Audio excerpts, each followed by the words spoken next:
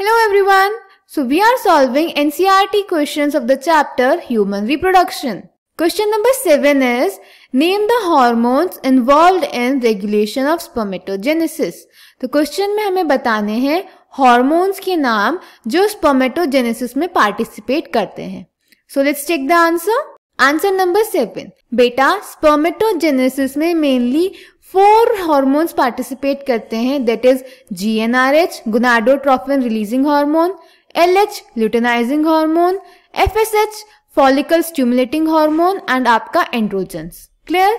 तो Spermatogenesis starts at the age of puberty due to significant increase in the secretion of gonadotropin releasing hormone that is GnRH a hypothalamic hormone. तो सबसे पहले तो हमारे hypothalamus से एक hormone release होता है that is gonadotrophin releasing hormone GnRH at the age of puberty और उसी एज पे हमारा स्पर्मेटोजेनेसिस स्टार्ट होता है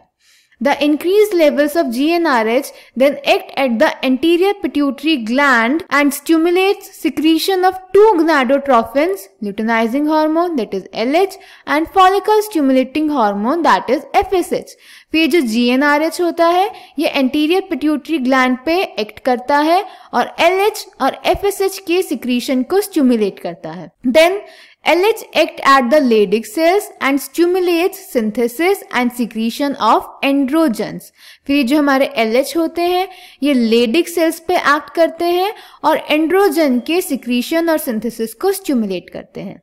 Androgens in turn stimulate the process of spermatogenesis. FSH acts on the Sertoli cells and stimulates secretion of some factors which help in the process of spermiogenesis. तो क्या होता है एंड्रोजेंस हमारे spermatogenesis को stimulate करते हैं और FSH सर्टोली सेल्स पे एक्ट करते हैं और कुछ फैक्टर्स के सिक्रीशन को स्टिमुलेट करते हैं, जो कि हेल्प करते हैं स्पर्मियोजेनेसिस में। Clear so this was answer number seven I hope it is clear to you thank you